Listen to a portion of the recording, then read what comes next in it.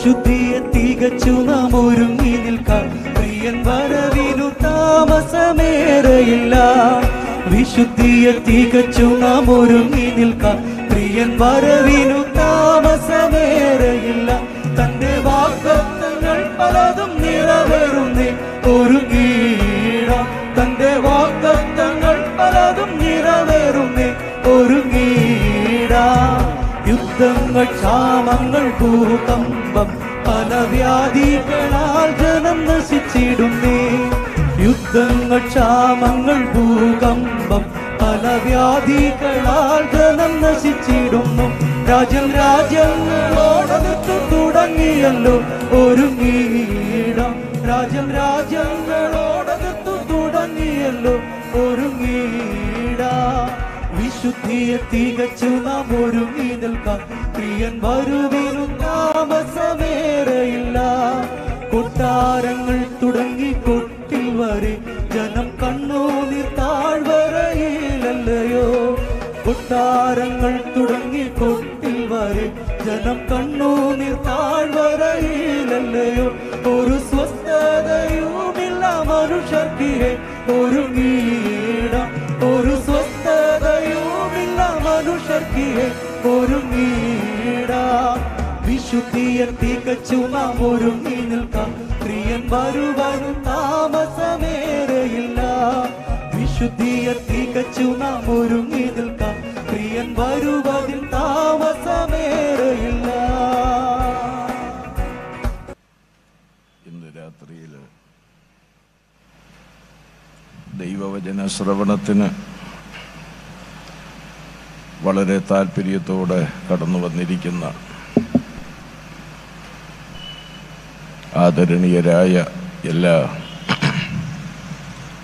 സഹോദരി സഹോദരന്മാർക്കും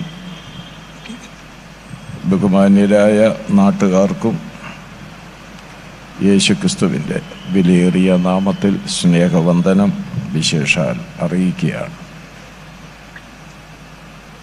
എന്റെ പ്രിയപ്പെട്ട സഹോദരന്മാരോടൊരുമിച്ച് ഇന്ന് രാത്രിയിൽ ദൈവവചന പ്രഘോഷണം നടത്തുവാൻ കോട്ടയം കൺവെൻഷൻ മുഖാന്തരമായി ഒരവസരം ലഭിച്ചതിൽ വലിയ സന്തോഷമുണ്ട്. ഇങ്ങനെയൊരു സംരംഭം ഒരുക്കി തന്ന ദൈവത്തെ നന്ദിയോടുകൂടെ സ്തോത്രം ചെയ്യുകയും കോട്ടയം കൺവെൻഷന്റെ എല്ലാ പങ്കാളികളായ സഭകളോടും ഉത്തരവാദിത്തപ്പെട്ട സഹോദരന്മാരോടും ഹൃദയം നിറഞ്ഞ നന്ദി അറിയിക്കുകയാണ്. വളരെ അനുഗ്രഹിക്കപ്പെട്ട ഗാനങ്ങളിലൂടെ നാം ദൈവത്തെ മഹത്വപ്പെടുത്തിക്കൊണ്ടിരിക്കുകയും ആയിരുന്നു. ഇന്ന് രാത്രിയിലെ ആലോചനയ്ക്കായി നമുക്ക് യശയ പ്രവാചകന്റെ പുസ്തകം നാൽപ്പതാം അധ്യായം ഒൻപതാമത്തെ വാക്യം മുഴുവനായിട്ട് വായിക്കണമെന്ന് വരികിലും അതിന്റെ ഒടുവിലത്തെ ചെറിയ വാചകം മാത്രമാണ് എടുക്കാൻ ആഗ്രഹിക്കുന്നത്. എങ്കിലും ഒൻപതാം വാക്യം മുഴുവനായി വായിക്കാം. സുവാർത്താദൂതിയായ സിയോനെ നീ ഉയർന്ന പർവതത്തിലേക്ക് കയറി ചെല്ലുക. സുവാർത്താദൂതിയായ എരിശലേമേ നിന്റെ ശബ്ദം ശക്തിയോടെ ഉയർത്തുക. ഭയപ്പെടാതെ ഉയർത്തുക. യഹൂദ നഗരങ്ങളോടെ ഇതാ നിങ്ങളുടെ ദൈവമെന്ന് പറക ഇത് നിങ്ങളുടെ ദൈവം എന്ന് പറക.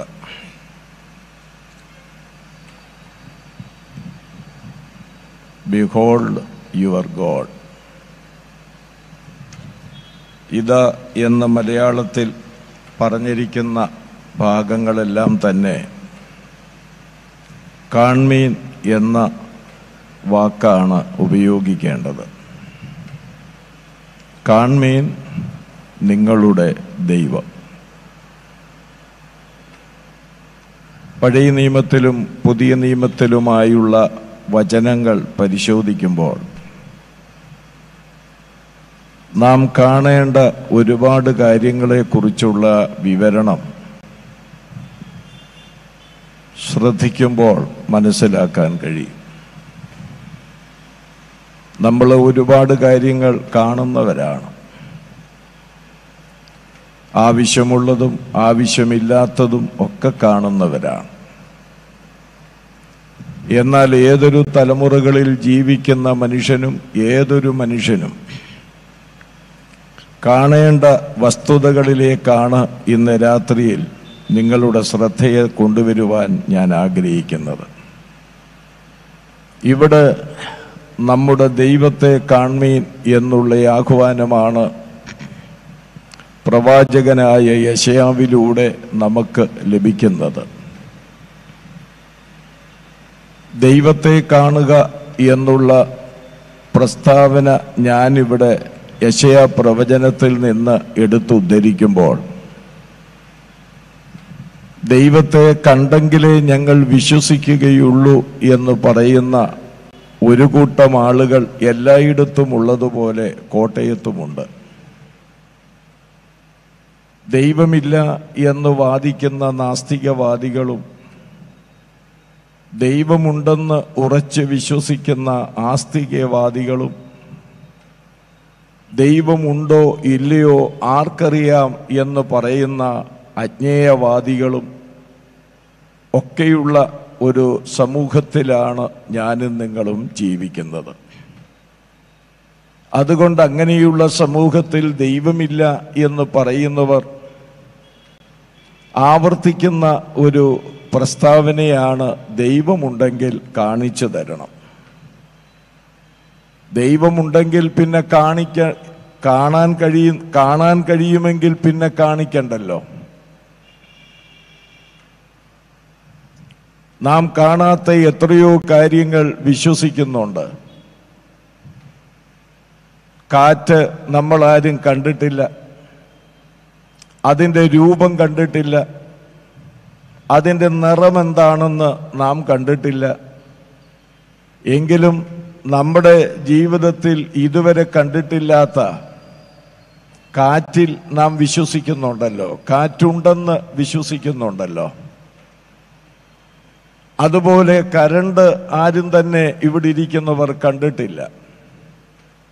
കരണ്ടിന്റെ രൂപം എന്താണ് അതിന്റെ നിറം എന്താണ് എന്നാർക്കും പറയുവാൻ കഴിയുകയില്ല. അപ്പോൾ കരണ്ട് കണ്ടിട്ടില്ലെങ്കിലും കാറ്റ് കണ്ടിട്ടില്ലെങ്കിലും ഇത് രണ്ടും വിശ്വസിക്കുന്നവരാണ് ഇവിടെ എന്നെ ശ്രദ്ധിക്കുന്ന എല്ലാവരും തന്നെ. അങ്ങനെയെങ്കിൽ കണ്ടിട്ടില്ലാത്ത ദൈവത്തെ കാണിച്ചു തന്നാൽ ഞങ്ങൾ വിശ്വസിക്കാം എന്ന് പറയുന്നത് അതൊരു യുക്തിയല്ലല്ലോ യുക്തിഹീനമല്ലേ ആ കാര്യം. തന്നെയല്ല ഒരു കാര്യം ഉണ്ടെന്നും ഇല്ലെന്നും പറയണമെങ്കിൽ അത് യാഥാർത്ഥ്യമായതുകൊണ്ടാണല്ലോ ഉണ്ട് ഇല്ല എന്നൊക്കെ പറയുന്നത്. മഴയുണ്ട് മഴയില്ല എന്നൊക്കെ പറയണമെങ്കിൽ മഴയുള്ളത് കൊണ്ടാണല്ലോ അങ്ങനെയെങ്കിൽ ദൈവമില്ല ദൈവമുണ്ട് എന്ന് പറയണമെങ്കിൽ ദൈവമുള്ളത് കൊണ്ടാണല്ലോ അതുകൊണ്ട് നിശ്ചയമായും ദൈവമുണ്ട്. ദൈവം ദൈവത്തെക്കുറിച്ച് മനുഷ്യന് വെളിവാക്കി കൊടുത്തിരിക്കുന്നു എന്ന് റോമാലേഖനം ഒന്നാമധ്യായം പത്തൊൻപതാം വാക്യത്തിൽ നാം വായിക്കുന്നുണ്ട്.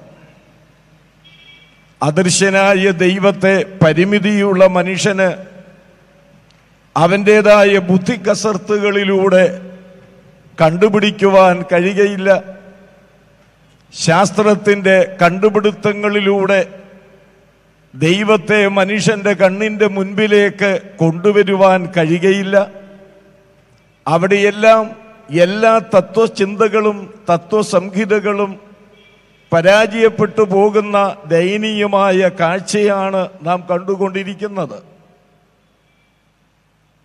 ദൈവം ദൈവത്തെക്കുറിച്ച് നമുക്ക് വെളിവാക്കി തരാതെ ദൈവത്തെക്കുറിച്ച് മനുഷ്യന് ഒന്നും മനസ്സിലാകുകയില്ല. പക്ഷേ ദൈവസൃഷ്ടിയുടെ മകുടമായിരിക്കുന്ന മനുഷ്യന് ദൈവം ദൈവത്തെക്കുറിച്ച് വെളിവാക്കി എന്ന് ഞാൻ ഓർപ്പിച്ചതുപോലെ റോമാലേഖനം ഒന്നാമധ്യായം പത്തൊൻപതാം വാക്യത്തിൽ അപ്പസ്തോലനായ പൗലോസ് പറയുന്നുണ്ട്. അവിടെ ഇങ്ങനെയാണ് എഴുതിയിരിക്കുന്നത്. ദൈവത്തെക്കുറിച്ച് അവർക്ക് വെളിവായിരിക്കുന്നു. ദൈവം അവർക്ക് വെളിവാക്കി കൊടുത്തുവല്ലോ. വിവിധ നിലകളിലാണ് ദൈവം ദൈവത്തെക്കുറിച്ച് മനുഷ്യന് വെളിവാക്കി കൊടുത്തിരിക്കുന്നത്. രണ്ടു മൂന്നാൽ ദൃഷ്ടാന്തങ്ങളിലൂടെ അത് ഓർപ്പിക്കണമെന്ന് എനിക്ക് താല്പര്യമുണ്ട്. ദൈവം ദൈവത്തെക്കുറിച്ച് വെളിവാക്കി കൊടുത്തിരിക്കുന്നത് ഒന്ന് ഈ പ്രപഞ്ചത്തിലൂടെയാണ്.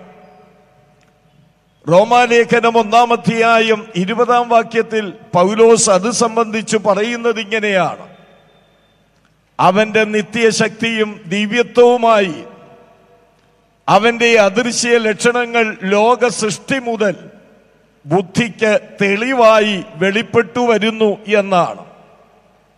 അപ്പോൾ ഈ പ്രപഞ്ചം ഒരു ദൈവത്തെക്കുറിച്ചുള്ള വലിയൊരു വെളിപ്പെടുത്തൽ നമ്മുടെ ബുദ്ധിക്ക് നൽകിയിരിക്കുകയാണ്.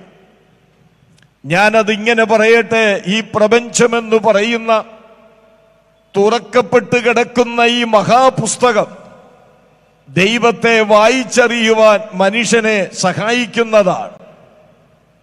അതുകൊണ്ടാണ് പത്തൊൻപതാം സങ്കീർത്തനം ആരംഭിക്കുമ്പോൾ രേഖപ്പെടുത്തിയിരിക്കുന്നത്. ആകാശം ദൈവത്തിന്റെ മഹത്വത്തെയും ആകാശവിധാനം അവന്റെ കൈവേലിയെയും പ്രസിദ്ധമാക്കുന്നു എന്നാണ്. കാരണം വിന കാര്യം എന്നാണല്ലോ ആപ്തവാക്യം. ഒരു കാര്യത്തിന്റെ പിൻപിൽ ഒരു കാരണമുണ്ട്. ഞാൻ ഇവിടെ പുസ്തകം പിടിച്ച് വെച്ചിരിക്കുന്ന ഈ പോഡിയം അതൊരു കാര്യമാണ്. അതിന്റെ പിൻപിൽ ഒരു കാരണമുണ്ട്.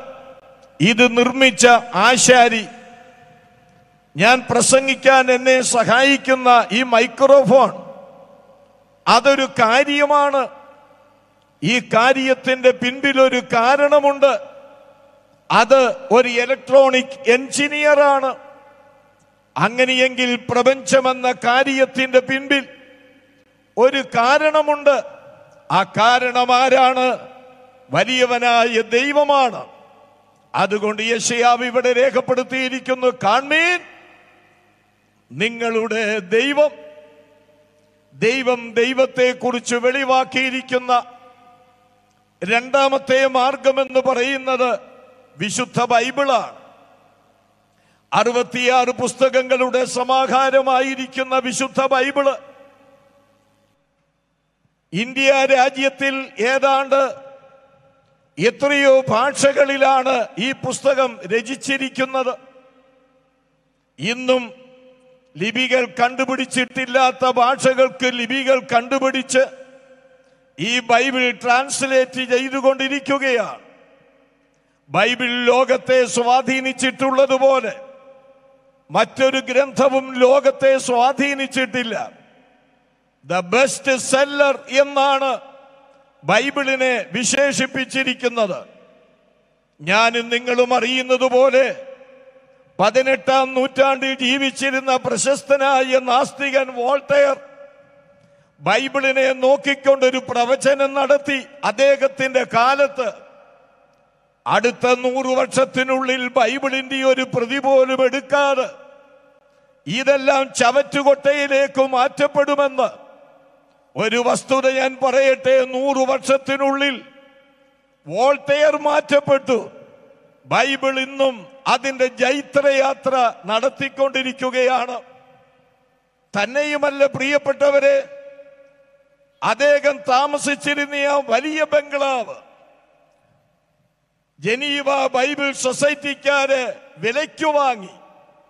അത് ബൈബിൾ അച്ചടിക്കുന്ന അച്ചടിശാലയും ബൈബിൾ സംഭരിക്കുന്ന സംഭരണശാലയുമാക്കി അത് മാറ്റിക്കഴിഞ്ഞിരിക്കുന്നു.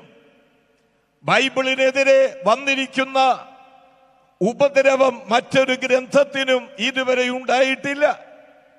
പക്ഷേ കഴിഞ്ഞ നൂറ്റാണ്ടുകളായി പുരുഷാന്തരങ്ങളായി ആ പോരാട്ടത്തെയൊക്കെ ജയിച്ച് ബൈബിൾ ഇന്നും അജയ്യമായി നിലകൊള്ളുകയാണ്. ഞാൻ ഓർപ്പിച്ചത് ഈ ബൈബിൾ ദൈവത്തെ നമുക്ക് വെളിവാക്കി തന്നിരിക്കുകയാണ്. ബൈബിൾ ഒരു മതഗ്രന്ഥമല്ല. ബൈബിൾ ഒരു മതഗ്രന്ഥമായിട്ട് ആരെങ്കിലും വിചാരിക്കുന്നെങ്കിൽ നിങ്ങൾക്ക് തെറ്റുപറ്റിയിരിക്കുകയാണ്. ഇതൊരു മതഗ്രന്ഥമായിരുന്നെങ്കിൽ വിശാലമായ പന്തൽ ക്രമീകരിച്ച് നിങ്ങളെയൊക്കെ ഇവിടെ വിളിച്ചു വരുത്തി ഇത്ര നല്ലൊരു സൗണ്ട് സിസ്റ്റം ക്രമീകരിച്ച് പണം ചെലവഴിച്ച് ഒരു മതഗ്രന്ഥം പ്രസംഗിക്കുവാൻ ഞങ്ങൾ മെനക്കെടുകയില്ലായിരുന്നു. കാരണം ഈ ആക്ഷഭാരതത്തിന്റെ മണ്ണിലുള്ളതുപോലെ മതഗ്രന്ഥങ്ങൾ മറ്റൊരു രാജ്യത്തുമില്ല. അതുകൊണ്ടൊരു പുതിയ മതഗ്രന്ഥം ഇവിടെ പ്രസംഗിക്കുവാൻ ആവശ്യമില്ല. ആകയാൽ ബൈബിൾ അതൊരു മതഗ്രന്ഥമല്ല. എന്താണ് ബൈബിൾ? രണ്ടു മൂന്ന് വചനങ്ങളിലൂടെ വളരെ വേഗത്തിൽ ഞാൻ ഓർപ്പിക്കാം. ഒന്ന് ബൈബിൾ ദൈവശ്വാസീയ തിരുവഴുത്താണ്. അഥവാ ദൈവത്തിന്റെ ഉച്ചുമാസമാണ് ഈ ദൈവത്തിന്റെ വചനം. അങ്ങനെ ഒരു ഗ്രന്ഥത്തിന് അവകാശപ്പെടുവാൻ കഴിയയില്ല പിന്നെ ബൈബിളിനെ സംബന്ധിച്ച് പറയുന്ന മറ്റൊന്ന് ദൈവത്തിന്റെ വചനം എന്ന് പറഞ്ഞിട്ടുണ്ട്. ബൈബിൾ ദൈവത്തിന്റെ വചനമാണ്. ദൈവത്തിന്റെ വചനമെന്ന് പറയാൻ കഴിയുന്ന ഏത് പുസ്തകമാണ് ഈ അവനിയുടെ മുഖത്തുള്ളത്? നിങ്ങൾ പറ. ഇതുവരെ ഞാൻ കണ്ടിട്ടില്ല. എനിക്കൊരു പത്തെഴുപത് വയസ്സോളവുമായി. എന്റെ ഇത്രയും വർഷത്തിൽ ദൈവത്തിന്റെ വചനമെന്ന് അവകാശപ്പെടാൻ കഴിയുന്ന ഒരു പുസ്തകവും ഞാൻ ഇതുവരെ കണ്ടിട്ടില്ല. ഉണ്ടെങ്കിൽ എനിക്ക് കാണിച്ചു തരാം. ബൈബിൾ ദൈവത്തിന്റെ വചനമാണ്. ബൈബിളിനെ സംബന്ധിച്ചു ബൈബിൾ തന്നെ പറയുന്ന മറ്റൊരു പേരുണ്ട്. യഹോവയുടെ പുസ്തകമെന്ന്. ഓ എത്ര അനുഗ്രഹിക്കപ്പെട്ട ഒരു നാമമാണ്. ഈ അറുപത്തിയാറ് പുസ്തകങ്ങൾ അടങ്ങിയിരിക്കുന്ന ഈ പുസ്തകം യഹോവയുടെ പുസ്തകമാണ്. ഇത് മനുഷ്യരുടേതല്ല. അതുകൊണ്ട് ബൈബിളിനെ സംബന്ധിച്ച് വികലമായ ചിന്തകൾ വെച്ചു പുലർത്തുന്നവര് ഇന്ന് രാത്രി എന്റെ വാക്കുകളുടെ മുൻപിലുണ്ടെങ്കിൽ നിങ്ങളുടെ അങ്ങനെ അബദ്ധ ജടിലങ്ങളായ ചിന്തകൾ മാറ്റിവെച്ചിട്ട് യാഥാർത്ഥ്യങ്ങളിലേക്ക് വരണമെന്ന് താല്പര്യത്തോട് ഞങ്ങൾ ഓർപ്പിക്കുകയാണ്. ബൈബിൾ ആരംഭിക്കുന്നത് ദൈവത്തെ കുറിച്ച് പറഞ്ഞുകൊണ്ടാണ്. ഉൽപ്പത്തി പുസ്തകം ഒന്നാം അധ്യായം ഒന്നാം വാക്യത്തിൽ ഇങ്ങനെ വായിക്കുന്നു. ആദിയിൽ ദൈവം ആകാശവും ഭൂമിയും സൃഷ്ടിച്ചുവെന്നാണ്. ഒരു ദൈവമുണ്ടെന്ന് സ്ഥാപിക്കുവാൻ ഈ ബൈബിൾ ശ്രമിക്കുന്നില്ല. പിന്നെന്താണ് ചെയ്യുന്നത്? ഉള്ള ദൈവത്തെ കൊണ്ട് ബൈബിൾ ആരംഭിക്കുകയാ അതാണ് ഈ ബൈബിളിന്റെ പ്രത്യേകത. ദൈവത്തെ വെളിപ്പെടുത്തിയിരിക്കുന്ന രണ്ടാമത്തെ മാർഗമാണ് വിശുദ്ധ ബൈബിൾ. ദൈവം ദൈവത്തെ കുറിച്ച് നമുക്ക് വെളിവാക്കി തന്നിരിക്കുന്നു മൂന്ന് മനുഷ്യന്റെ മനസാക്ഷിയാണ് റോമാലേഖനൻ രണ്ടാമധ്യായും പതിനഞ്ചാം വാക്യത്തിൽ നാം അത് വായിക്കുന്നു. അവന്റെ മനസാക്ഷി അവനെ കുറ്റം ചുമത്തിയും എന്നവിടെ വായിക്കുന്നുണ്ട്. മനുഷ്യർക്കൊക്കെ ഒരു മനസാക്ഷിയുണ്ട് പക്ഷേ നല്ല മനസാക്ഷി ദുർമനസാക്ഷിയായി കൊണ്ടിരിക്കുന്ന ഒരു കാലഘട്ടത്തിലാണ് ഞാനും നിങ്ങളും ജീവിക്കുന്നത്. പക്ഷേ ദൈവം എല്ലാ മനുഷ്യർക്കും ഒരു നല്ല മനസാക്ഷി കൊടുത്തിട്ടുണ്ട്. ഈ മനസാക്ഷി ദൈവത്തെ കുറിച്ച് നമുക്ക് വെളിവാക്കി തന്നിരിക്കുകയാണ്. കാട്ടുവാസികളാണെങ്കിലും നഗരവാസികളാണെങ്കിലും അവർ ദൈവത്തെ ആരാധിക്കുന്നവരാണ് ദൈവത്തെ ഭജിക്കുന്നവരാണ് വ്യത്യസ്തമായ മാർഗങ്ങളും രീതികളും അതിന് സ്വീകരിക്കുന്നു എന്നുള്ളത് ഒരു ഭാഗത്ത് ശരിയാണ്. എന്നാൽ അവന് ദൈവത്തെ കുറിച്ചുള്ള അവബോധം ഉള്ളിൽ കിടപ്പുണ്ട്. അതുകൊണ്ടാണ് അവൻ ദൈവത്തെ ആരാധിക്കുന്നത്. പ്രിയപ്പെട്ടവരെ ഞാൻ പറയട്ടെ ദൈവമില്ല എന്ന് പറയുന്നവരുടെ മനസാക്ഷിയിൽ പോലും ഒരു ദൈവം ഉറങ്ങിക്കിടപ്പുണ്ടെന്നുള്ളത് ഒരു യാഥാർത്ഥ്യം തന്നെയാണ്. കേരളം കണ്ടിട്ടുള്ളതിൽ പോരാ. ഇന്ത്യ കണ്ടിട്ടുള്ളതിൽ ഏറ്റവും വലിയ ഒരാചാര്യൻ ഒരു രാഷ്ട്രീയ നേതാവ്. പേരെടുത്തു പറയാൻ ഞാൻ ആഗ്രഹിക്കുന്നില്ല. കോഴിക്കോട് സെനറ്റ് ഹാളിൽ ആയിരത്തി തൊള്ളായിരത്തി എഴുപതുകളിൽ ഏതോ ഒരു വർഷം അദ്ദേഹം നടത്തിയ പ്രസംഗം. ആ സമയത്തെ എതിർ പാർട്ടിയാണ് ഈ കേരളം ഭരിച്ചുകൊണ്ടിരിക്കുന്നത്. ചിന്തിക്കുന്നവർക്കും വായിക്കുന്നവർക്കും ഞാൻ ഈ കാര്യങ്ങൾ പറയുമ്പോൾ മനസ്സിലാകും. അദ്ദേഹം ദൈവമില്ലെന്ന് ഉച്ചൈശ്വരം പ്രഘോഷിക്കുന്നയാളാണ് എന്നാൽ അദ്ദേഹം ആ സെനറ്റ് ഹാളിൽ പ്രസംഗിച്ചു വന്നപ്പോൾ ആവേശത്തോടെന്ന് ഞാൻ പറയുന്നില്ല. അദ്ദേഹത്തിന് ആവേശത്തോട് പറയാൻ വയ്യാത്ത പരിമിതിയുണ്ട്. ഞാൻ പറയുമ്പോൾ നിങ്ങൾ കാളിനെ പിടികിട്ടും. ആ പരിമിതിയിൽ നിന്നുകൊണ്ട് അദ്ദേഹം പറയുകയാണ് പ്രസംഗിച്ചിങ്ങനെ ആവേശം വന്നപ്പോൾ അദ്ദേഹം പറയുന്നു ദൈവമേ അവരെ ഒന്നുകൂടി താഴെ ഇറക്കി ഞങ്ങളെ ഒന്നുകൂടി ഒന്ന് കയറ്റണമേ. അതുവരെ ദൈവമില്ലെന്ന് പറയുന്ന പഠിപ്പിക്കുന്ന ആ വലിയ രാഷ്ട്രീയ ആചാര്യൻ ദൈവമേ എന്ന് വിളിച്ചുപോയി. എന്റെ പ്രിയപ്പെട്ടവരെ കാരണം എന്താണ് ദൈവമില്ലെന്നുറക്കെ പറയുമ്പോഴും അദ്ദേഹത്തിന്റെ മനസാക്ഷിയിൽ ഒരു ദൈവം ഉറങ്ങിക്കിടപ്പുണ്ട്. ഫ്രഞ്ച് നാസ്തികനായ നീഷെ ഒരിക്കൽ ഇങ്ങനെ പറഞ്ഞു. ഒരു ദൈവമുണ്ടായിരുന്നു. ആ ദൈവത്തെ ഞങ്ങളാണ് കൊന്നത്. ദൈവമില്ല. അപ്പോൾ ഒരു കാര്യം വളരെ വ്യക്തമാ. ഇല്ലാത്ത ദൈവത്തെ എങ്ങനെ കൊല്ലാൻ കഴിയും? അദ്ദേഹത്തിന്റെ മനസാക്ഷിയിൽ ഒരു ദൈവം ഉറങ്ങിക്കിടപ്പുണ്ട്. ആകെയാൽ ഞാൻ അങ്ങനെ പറഞ്ഞു പോകുന്നില്ല. ദൈവം ദൈവത്തെ കുറിച്ച് വെളിവാക്കി തന്നിരിക്കുന്നു. എവിടെ? മനുഷ്യന്റെ മനസാക്ഷിയിലൂടെ അങ്ങനെ പ്രപഞ്ചമെന്ന തുറന്ന പുസ്തകത്തിലൂടെ. ദൈവത്തിന്റെ വചനമാകുന്ന ബൈബിളിലൂടെ. മനുഷ്യന്റെ മനസാക്ഷിയിലൂടെ ദൈവം ദൈവത്തെ കുറിച്ച് നമുക്ക് വെളിവാക്കി തന്നിരിക്കുകയാണ്. നാലാമതായി പറയട്ടെ. ദൈവം ദൈവത്തെ കുറിച്ച് നമുക്ക് വെളിവാക്കി തന്നു. എങ്ങനെ?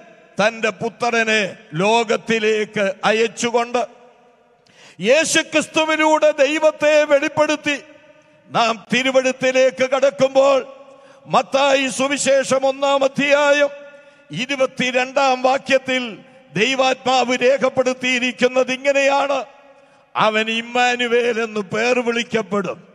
യേശുക്രിസ്തുവിന്റെ നാമത്തിന്റെ അതിമഹത്തായ ശ്രേഷ്ഠതയെ സംബന്ധിച്ചുള്ള ഒരു ഗാനം ഗായക സംഘം പ്രാരംഭത്തിൽ പാടി നമ്മൾ അവരോട് ഒരുമിച്ച് പാടി ദൈവത്തെ സ്തുതിച്ചതാണ്. അങ്ങനെ ക്രിസ്തുവിന് നൽകിയിരിക്കുന്ന നാമങ്ങളിൽ ഒരു നാമമാണ് ഇമ്മാനുവേൽ എന്നുള്ള നാമം. എന്താണ് ഇമ്മാനുവേൽ എന്ന് പറഞ്ഞാൽ ദൈവം നമ്മോടുകൂടെ. അതേ പ്രിയപ്പെട്ടവരെ അതാണ് മത്തായി സുവിശേഷം ഒന്നാം അധ്യായം ഇരുപത്തിരണ്ടാം വാക്യത്തിൽ പറയുന്നു ദൈവം നമ്മോടുകൂടെ എന്നർത്ഥമുള്ള ഇമ്മാനുവേൽ എന്ന് പേർ വിളിക്കപ്പെടണം. അതെ മുപ്പത്തിമൂന്നര വർഷം ആ ദൈവം മനുഷ്യരോടുകൂടെ ഈ ലോകത്തിൽ ജീവിച്ചു. മനുഷ്യനെ പോലെ കാലുള്ളവനായി കൈയുള്ളവനായി മനുഷ്യനെ പോലെ ചിന്തിക്കുന്നവനായി തലയുള്ളവനായി മനുഷ്യനെ പോലെ കേൾക്കുവാൻ കാതുള്ളവനായി മനുഷ്യനെ പോലെ സംസാരിക്കാൻ നാവുള്ളവനായി മനുഷ്യനെ പോലെ ആഹാരം കഴിക്കുവാൻ വിശപ്പുള്ളവനായി മനുഷ്യനെ പോലെ വെള്ളം കുടിക്കുവാൻ ദാഹമുള്ളവനായി. ഈ ഭൂമിയിൽ ആ ദൈവം മനുഷ്യനായി ജീവിച്ചുകൊണ്ട് ദൈവത്തെ നമുക്ക് വെളിവാക്കി തന്നു. അതാണ് ഒന്ന് യോഹന്നാൻ അഞ്ചാം അധ്യായം ഇരുപതാം വാക്യത്തിൽ എഴുതിയിരിക്കുന്നു. ദൈവപുത്രൻ വന്നുവെന്നും സത്യ ദൈവത്തെ അറിയുവാൻ നമുക്ക് വിവേകം തന്നുവെന്നും നാം അറിഞ്ഞിരിക്കുന്നു എന്നാണ്. പ്രിയപ്പെട്ടവരെ കഴിഞ്ഞിടയിൽ ഞാൻ വായിച്ച ഒരു പുസ്തകമുണ്ട്. ആ പുസ്തകത്തിന്റെ പേര് ബൈബിൾ വെളിച്ചത്തിന്റെ കവചം എന്നാണ്. അത് എഴുതിയിരിക്കുന്നത് പ്രശസ്ത എഴുത്തുകാരൻ കെ പി അപ്പനാണ്. അദ്ദേഹം ഇത് സംബന്ധിച്ച് ആ പുസ്തകത്തിൽ എഴുതിയിരിക്കുന്നത് ഇങ്ങനെയാണ്.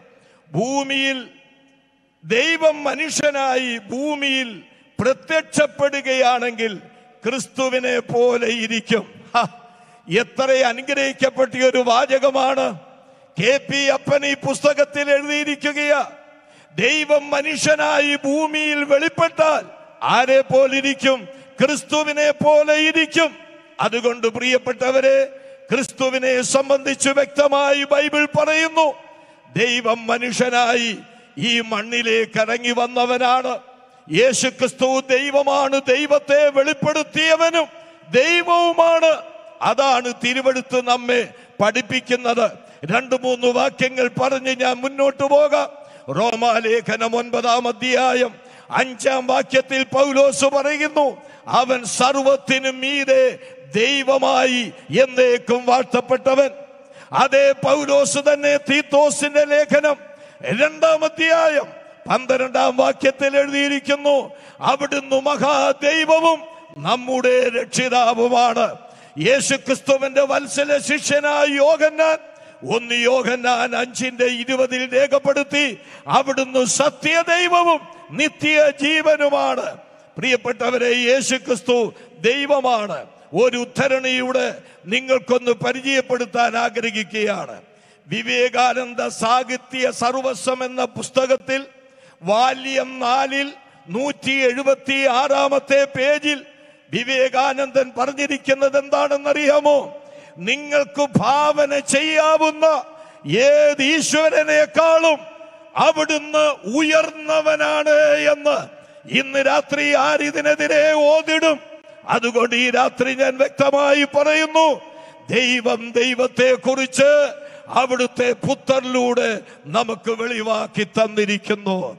ആകയാൽ ദൈവമില്ല എന്ന് പറഞ്ഞുകൊണ്ട് ദൈവത്തെ തപ്പി നടക്കുന്ന ഈ ആളുകൾ ഈ പരിസരത്തിന്റെ വാക്കുകളെ കേൾക്കുന്നെങ്കിൽ പ്രവാചകൻ വിളിച്ചു പറയുന്ന വാക്കുകൾക്ക് കാൺമീൻ.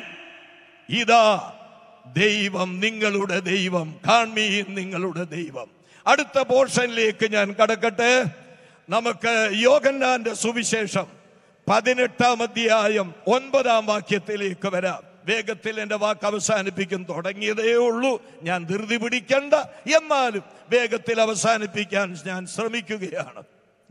യോഗന്നാന്റെ സുവിശേഷം പതിനെട്ടാം അധ്യായം ഒൻപതാമത്തെ വാക്യം. നീ എനിക്ക് തന്നവരിൽ ആരും യോഗന്നാന്റെ സുവിശേഷം പതിനെട്ടാം അധ്യായം ഒൻപതാം വാക്യം. നീ എനിക്ക് തന്നവരിൽ ആരും യോഗന്നാന്റെ സുവിശേഷം പതിനെട്ടാം അധ്യായം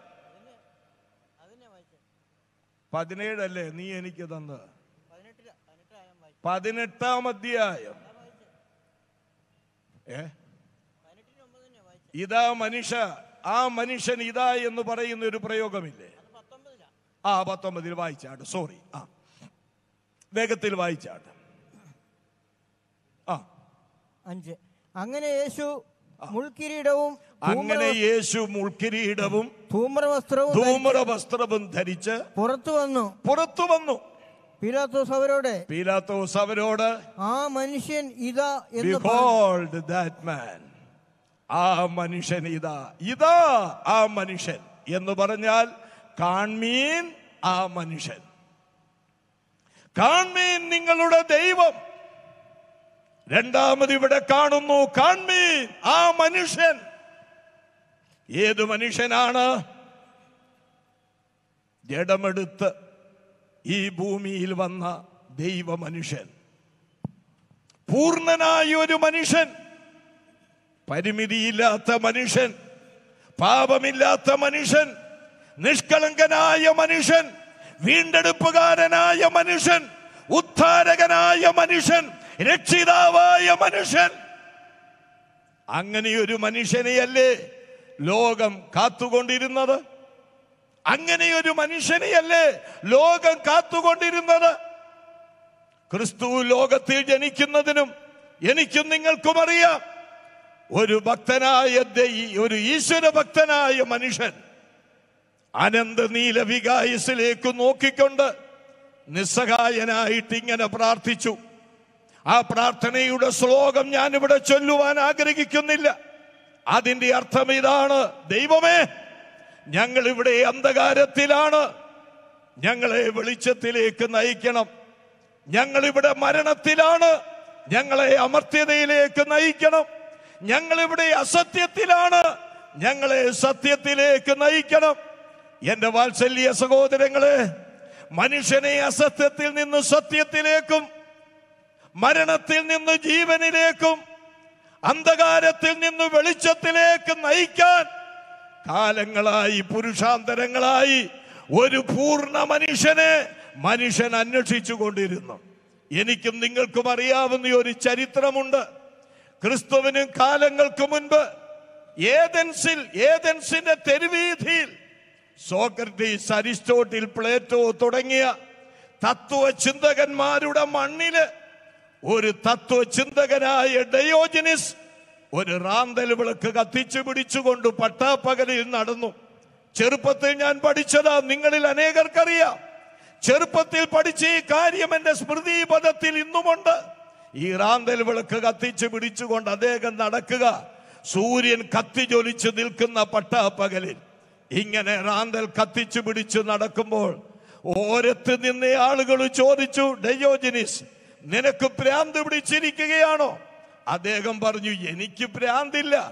അപ്പോൾ ചോദിച്ചു പിന്നെ ഈ പട്ടാപ്പകലിൽ റാന്തൽ വിളക്ക് കത്തിച്ചു പിടിച്ചുകൊണ്ട് നീ നടക്കുന്നതെന്ത്? അദ്ദേഹം പറഞ്ഞ വാക്കെന്താണെന്നറിയാമോ? ഞാനൊരു മനുഷ്യനെ അന്വേഷിക്കുകയാ. നിങ്ങളുടെ ഹൃദയം എങ്ങനെ തോന്നുന്നു? അദ്ദേഹം പറയുന്നു ഞാനൊരു മനുഷ്യനെ അന്വേഷിക്കുക. കാലങ്ങൾ കഴിഞ്ഞു നൂറ്റാണ്ടുകൾ കഴിഞ്ഞു. ഇതാ പീലാത്തോസിന്റെ കൽത്തളത്തിൽ തല മുതൽ പാദം വരെ രക്തവിക്ഷക്തനായി യേശു നിൽക്കുമ്പോൾ യേശുവിനെ ചൂണ്ടി കാണിച്ചുകൊണ്ട് പീലാത്തോസ് പറയുക നിങ്ങൾ അന്വേഷിച്ച ആ മനുഷ്യൻ ഇതാ. ഹാലേ ദൈവത്തിനു സ്തോത്രം. മനുഷ്യന്റെ പാപങ്ങൾക്ക് പരിഹാരം വരുത്താൻ മനുഷ്യനെ വീണ്ടെടുക്കുവാൻ അവനെ വെളിച്ചത്തിലേക്ക് നയിക്കുവാൻ അവനെ സത്യത്തിലേക്ക് നയിക്കുവാൻ അവനെ മരണമില്ലായ്മയിലേക്ക് നയിക്കുവാൻ അവനെ പ്രത്യാശയിലേക്ക് നയിക്കുവാൻ അവൻ അർത്ഥവും ലക്ഷ്യവും കൊടുക്കുവാൻ. ഇതാ ഒരു പൂർണ മനുഷ്യൻ. ദൈവം ഇതാ മനുഷ്യനായി ഈ ലോകത്തിൽ വന്നിരിക്കുകയാണ്. എന്റെ വാത്സല്യ സഹോദരങ്ങളെ ഇവന് ഇവന് ഇവന് ഇവന് ഇവനോട് സദൃശ്യപ്പെടുത്താൻ കഴിയുന്ന ആരാണ് ഈ ലോകത്തിലുള്ളത്? ക്രിസ്തുവിന് പകരം വെക്കാൻ കഴിയുന്ന ആരാണ് ഇവിടെയുള്ളത് നിങ്ങൾ പറയുക. അതുകൊണ്ട് ഞാനൊരു വസ്തുത അവിടവിടങ്ങളിലായി കേൾക്കുന്നവരോട് പറയുക. നിരാശരായിട്ടിരിക്കുന്ന ആളുകളുണ്ട്. ജീവിതത്തിൽ അർത്ഥവും ലക്ഷ്യവും ഇല്ലാത്തവരുണ്ട്. ആരെന്നെ ഉദ്ധരിക്കുമെന്ന് ചോദിച്ചുകൊണ്ടിരിക്കുന്നവരുണ്ട്. കഴിഞ്ഞ നാളുകളിൽ കഠിനാധ്വാനം ചെയ്തിട്ടും പാപങ്ങൾക്ക് പരിഹാരം വരുത്താതെ എന്റെ പാപങ്ങൾക്ക് പരിഹാരം എവിടെ ലഭിക്കുമെന്ന് ചോദിക്കുന്നവരുണ്ട്. അവരോട് വളരെ വ്യക്തമായി പറയട്ടെ നിങ്ങളുടെ ചോദ്യങ്ങൾക്കെല്ലാം ഉത്തരമാണ്. ദൈവം മനുഷ്യനായി തീർന്ന ഈ പൂർണ മനുഷ്യൻ പരിമിതിയില്ലാത്ത മനുഷ്യൻ തികവുറ്റ മനുഷ്യൻ തികഞ്ഞ മനുഷ്യൻ ഇതാ ആ മനുഷ്യൻ. മൂന്നാമത് യോഗന്നാന്റെ സുവിശേഷം ഒന്നാം അധ്യായം ഇരുപത്തി ഒമ്പതാം വാക്യം നമുക്ക് വായിക്കാം. യോഗന്നാന്റെ സുവിശേഷം ഒന്നിന്റെ ഇരുപത്തി ഒമ്പത് വായിക്കാം. പിറ്റേന്നാൾ യേശു തന്റെ അടുക്കൽ വരുന്നത് അവൻ കണ്ടിട്ട് ഇതാ ലോകത്തിന്റെ പാപം ചുമക്കുന്ന ദൈവത്തിന്റെ കുഞ്ഞാട്. ഇതാ കാൺമീൻ. കാൺമീൻ. ലോകത്തിന്റെ പാപത്തെ ചുമ ചുമക്കുന്ന ദൈവത്തിന്റെ കുഞ്ഞാട്. അവിടെ ചുമക്കുന്ന എന്നാണ് മലയാളത്തിൽ. കഴിഞ്ഞ ദിവസം ദൈവദാസൻ ഓർപ്പിച്ചതുപോലെ ഇംഗ്ലീഷ് ട്രാൻസ്ലേഷൻ എടുത്തൊന്ന് പരിശോധിക്കാൻ ഇംഗ്ലീഷ് ബൈബിളിലെ മലയാളത്തിലേക്ക് അത് കൊണ്ടുവന്നാൽ ആ വാക്യം വായിക്കേണ്ടത് ഇങ്ങനെയാണ്. ഇത് ലോകത്തിന്റെ പാപത്തെ ചുമന്ന് നീക്കുന്ന ദൈവത്തിന്റെ കുഞ്ഞാട്. കാൺമീൻ നിങ്ങളുടെ ദൈവം. കാൺമീൻ ആ മനുഷ്യൻ. ഇവിടെ ഇതാ കാൺമീൻ ലോകത്തിന്റെ പാപത്തെ ചുമന്നു നീക്കുന്ന ദൈവത്തിന്റെ കുഞ്ഞാട്. നിങ്ങൾക്കിത് കേട്ടിട്ട് എന്തു തോന്നുന്നു ഹൃദയത്തിൽ? ഇങ്ങനെയുള്ള ഒരാളെയല്ലേ കാണാൻ ആഗ്രഹിച്ചത്? ഇതാ ഇന്ന് രാത്രിയിൽ ഇവിടെ വന്നിട്ടുണ്ട്. ദൈവത്തെ കാണാൻ ആഗ്രഹിച്ചവർക്ക് ഇതാ നിങ്ങളുടെ ദൈവം. ഒരു പൂർണ മനുഷ്യനെ കാണാൻ ആഗ്രഹിച്ചവർക്ക് ഇതാ ആ മനുഷ്യൻ. നിങ്ങളുടെ പാപത്തെ ചുമന്ന് നീക്കാൻ ആരുണ്ടെന്ന് നിങ്ങൾ ആഗ്രഹിച്ചെടുത്ത് കാണുക. നിങ്ങളുടെ പാപത്തെ ചുമന്നു നീക്കിയ ദൈവത്തിന്റെ കുഞ്ഞാണ്. യേശു ക്രിസ്തുവിന് നൽകിയിരിക്കുന്ന നാമങ്ങളിൽ മറ്റൊന്നാണ് ദൈവത്തിന്റെ കുഞ്ഞാടെന്നുള്ളത്. ഞാൻ കൃത്യമായിട്ടൊന്നും എണ്ണിയിട്ടില്ലെങ്കിലും വിവരമുള്ള ദൈവദാസന്മാര് എഴുതി കണ്ടിട്ടുണ്ട്. ഏതാണ്ട് മുപ്പത്തിമൂന്ന് പ്രാവശ്യമാണ് ക്രിസ്തുവിനെ ദൈവകുഞ്ഞാടെന്ന് പഴയ നിയമത്തിലും പുതിയ നിയമത്തിലുമായി സംബോധന ചെയ്തിരിക്കുന്നത്. എന്തുകൊണ്ടാണ് ദൈവകുഞ്ഞാട് എന്ന് അദ്ദേഹത്തെ പറയാൻ കാരണം? പല കാരണങ്ങൾ അതിന് പറയാനുണ്ട്. എന്നാൽ ഒരു പ്രധാനപ്പെട്ട കാരണം മാനവജാതിയുടെ പാപങ്ങൾക്ക് വേണ്ടി യാഗമായി തീർന്ന വ്യക്തി എന്ന നിലയിലാണ് ക്രിസ്തുവിനെ ദൈവകുഞ്ഞാട് എന്ന് പറഞ്ഞിരിക്കുന്നത്. നിങ്ങൾ അവിടെ ഒരു കാര്യം ശ്രദ്ധിക്കണം. ഇതാ ഇതാ ആ ദൈവത്തിന്റെ കുഞ്ഞാട്. ഞാൻ നിങ്ങളുടെ ശ്രദ്ധ കുറെ പുറകിലോട്ട് കൊണ്ടുപോവുകയാണ്. അബ്രഹാമും ഇസഹാക്കും കൂടെ യാഗത്തിനായി മോരിയ മലയുടെ കയറ്റം കയറുകയാണ് ഞാൻ ചിന്തിക്കുന്നു ഇസഹാക്ക് മുൻപിലും അബ്രഹാം പിൻപിലുമായി. ഇസഹാക്കിന്റെ കയ്യിൽ വിറകുണ്ട് അബ്രഹാമിന്റെ കയ്യിൽ കത്തിയും തീയുമുണ്ട്. അങ്ങനെ നടന്നു നീങ്ങുമ്പോൾ ഇസഹാക്ക് തിരിഞ്ഞൊരു ചോദ്യം ചോദിക്കുന്നുണ്ട് അപ്പാ യാഗത്തിനുള്ള മൃഗം എവിടെയാണ്? അതിനെ ദഹിപ്പിക്കാനുള്ള വിറക് എന്റെ തോളിലുണ്ട്. ആ യാഗമൃഗത്തെ തുണ്ടം തുണ്ടമായി കണ്ണിക്കാനുള്ള കത്തി അപ്പന്റെ കയ്യിലുണ്ട്. അതിനെ ദഹിപ്പിക്കാനുള്ള തീയും അപ്പന്റെ കയ്യിലുണ്ട്. ഇസഖാക്ക് ചോദിക്കുന്നു അപ്പ മറന്നുപോയോ? ആ മൃഗം എവിടെയാ? യാഗത്തിന് മൃഗം വേണ്ടേ? അപ്പോൾ അബ്രഹാം പറഞ്ഞ മറുപടി നിങ്ങൾക്കറിയാം. മകനെ യഹോവ കരുതിക്കൊള്ളും. യഹോവ ഇരേ യഹോവ കരുതിക്കൊള്ളും. ഞാൻ ഇന്ന് പറയട്ടെ എവിടെയാണ് യാഗത്തിനുള്ളതിനെ യഹോവ കരുതിയത്? തന്റെ മടിയിൽ തന്നെ തന്റെ മടിയിൽ. അതാണ് യോഗന്നാന്റെ സുവിശേഷം. ഒന്നാമത്തെയായും പതിനെട്ടാം വാക്യത്തിൽ പറയുന്നു തന്റെ ഏകജാ സോറി ദൈവത്തെ ആരും ഒരു നാൾ കണ്ടിട്ടില്ല. തന്റെ മടിയിൽ ഇരിക്കുന്ന ഏകജാതനായ പുത്രൻ. ഈ യാഗം എവിടെയാണ് യഹോവ കരുതിയത്? തന്റെ മടിയിലാണ്.